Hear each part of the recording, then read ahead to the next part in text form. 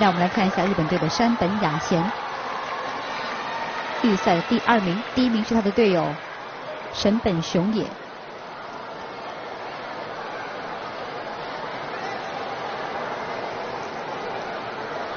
预赛这个项目，他的成绩仅次于中国队的黄玉国，排在第二，十四点八。当时，但是中国队黄玉国刚才的表现还是不是特别尽如人意，不像他预赛那么好。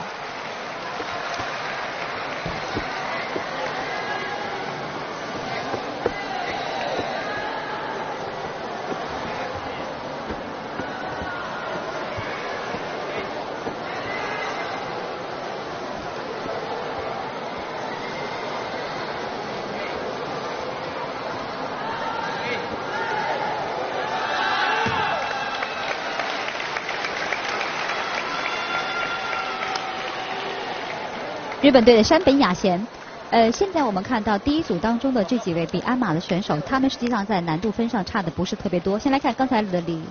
志凯十三点七零的吊环，呃，现在我们看到的像黄玉国，他的预赛的鞍马用的是六点四的套路。现在场上的山本雅贤呢也是六点零，那么刚刚完成的呃朴明树呢，大概也就是在六分左右，不会有太高。所以他们在预赛中，在这个很难过的这一关上呢，